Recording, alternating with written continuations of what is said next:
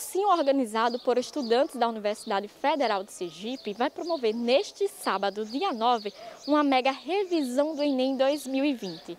O curso foi criado com o objetivo de democratizar o acesso ao ensino superior e é voltado para alunos da rede pública que não têm condições de arcar com as despesas do pré-vestibular.